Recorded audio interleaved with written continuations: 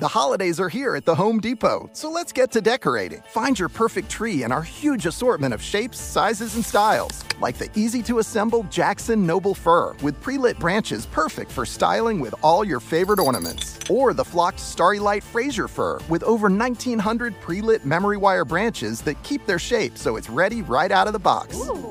Find the perfect tree now at the Home Depot and enjoy free delivery on most holiday decor. Subject to availability. See homedepot.com slash delivery for details. Dear Toyota, I need a word with you about your Crown family. Suddenly, I love traffic. Rush hour is my happy place. In the comfort of my Crown, I feel on top of the world. This is strange, though, right?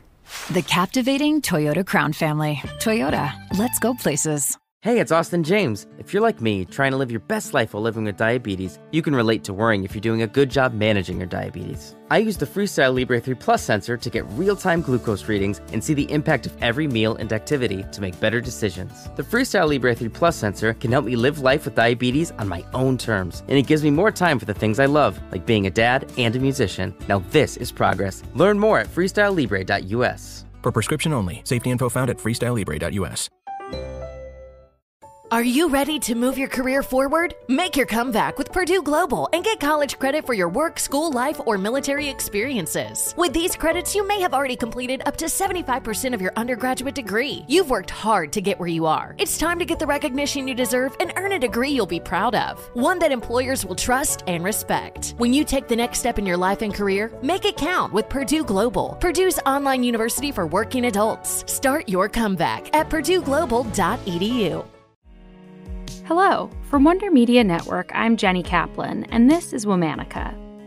This month, we're talking about women who found themselves at the center of controversy, whether deserved or not. Today, we're talking about a legendary rock star who pioneered a new genre of music. She created a long lasting legacy embodying the sound of the counterculture movement and a progressive generation. Despite her success, her short career was pockmarked by extreme public scrutiny and an infamous ham sandwich. Please welcome Cass Elliot. Cass Elliot was born Ellen Naomi Cohen in 1941. She grew up in suburban Baltimore. When she was a kid, her father nicknamed her Cass, inspired by the Trojan prophetess Cassandra, who was known for her uncanny and accurate visions of the future.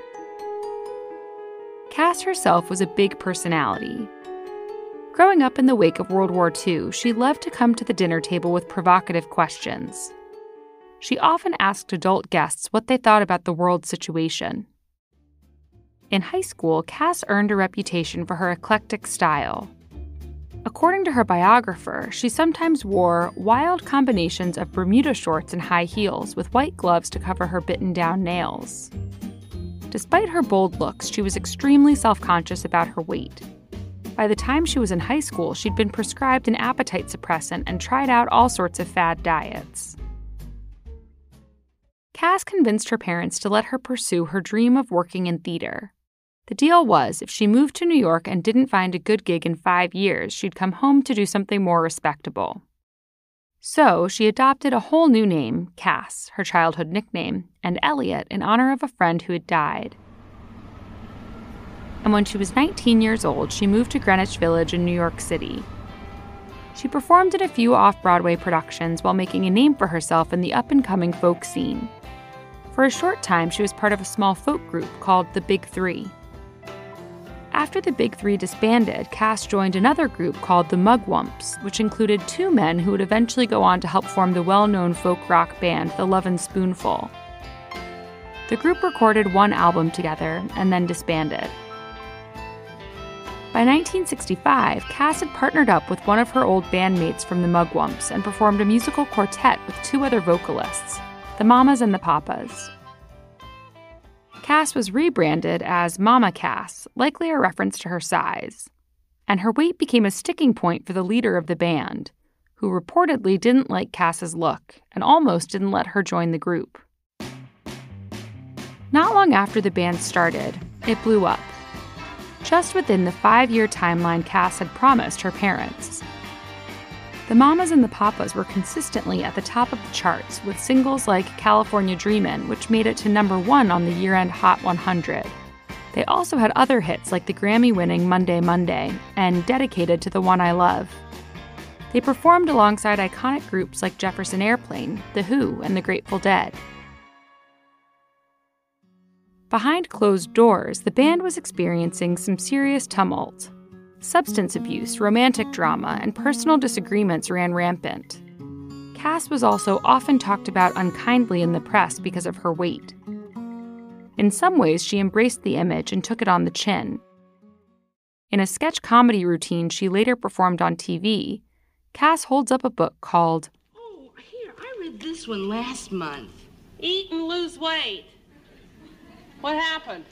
Well, I, I got as far as eat, and then I didn't understand the rest. Though Cass faced a lot of public scrutiny, she continued to project her joyful and unapologetic energy on stage. Not only did Cass perform with the greats, she was friends with them as well. Her friendships with people like Janis Joplin and Joni Mitchell, and groups like the Beach Boys, earned her the title Queen of Los Angeles Pop Society. She's even said to have introduced David Crosby and Stephen Stills to Graham Nash, rounding out the iconic trio. After a brief fling with a touring bassist, Cass realized she was pregnant. And it happened right at the height of the band's success. In a radical decision for the time, Cass chose to become a single mother and parent her child alone.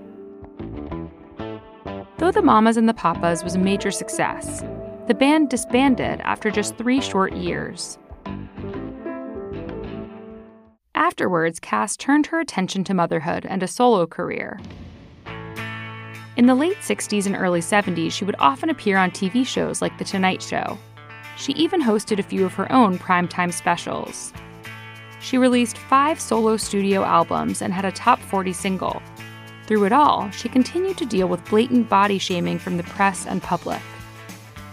She tried to leave the nickname of Mama Cass behind her, as had always been a jab at her size. She even released a song titled Don't Call Me Mama Anymore, but it continued to follow her.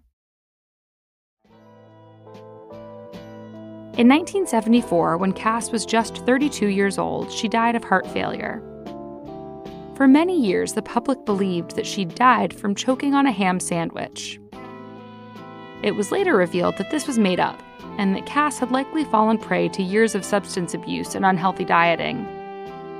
For some, the persistent myth of the ham sandwich cheapened her legacy and overshadowed her talent as a musician. Today, Cass's memory lives on. She was determined to succeed in an industry that shamed her for how she looked. In 1998, she was posthumously inducted into the Rock and Roll Hall of Fame as a member of the Mamas and the Papas. As Cass once said, the unique thing about music is that if you are good, you can always create a place for yourself. If you're making good music, man, there's so much room. All month, we're talking about women of controversy. For more information, find us on Facebook and Instagram at Womanica Podcast. Special thanks to Liz Kaplan, my favorite sister and co creator. Talk to you tomorrow.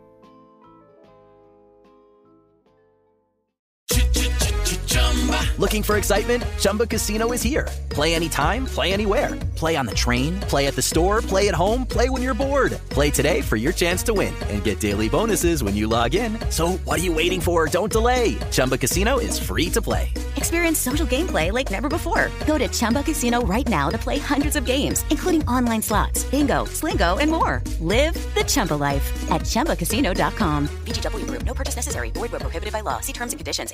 This message comes from Greenlight. Ready to start talking to your kids about financial literacy? Meet Greenlight, the debit card and money app that teaches kids and teens how to earn, save, spend wisely, and invest with your guardrails in place. With Greenlight, you can send money to kids instantly, set up chores, automate allowance, and keep an eye on your kids' spending with real-time notifications. Join millions of parents and kids building healthy financial habits together on Greenlight. Sign up for Greenlight today at greenlight.com/iheart. With millions of books on Amazon, there's a reading feeling for everyone. For example, Raquel's Whoa when she first entered the kingdom by Dragonback is different to Ari's Whoa when he found out there was more than one crime scene, which is also different to Ava's Whoa the moment when the stable boy became a stable man. From Whoa to Whoa to Whoa. Amazon Books. That reading feeling awaits. Vitamin Water was born in New York City because New Yorkers needed a drink that can do it all. Because we can do it all. Like walk 30 blocks in under an hour, follow four of the city's sports teams at once, and spend all day in the Chinatown arcade. Drink Vitamin Water. It's from New York.